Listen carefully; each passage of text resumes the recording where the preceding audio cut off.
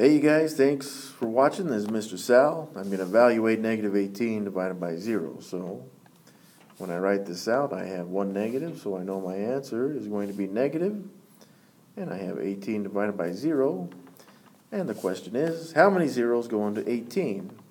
Well, we know one would. What about two? Yes. Well, as it turns out, if we continue this, there's an infinite number of zeros that go into 18, whether it's negative or positive, doesn't matter. All that matters is that we consider infinity, an infinite number of these zeros going into 18 to be undefined. And that right there actually is just the final answer. It's just undefined.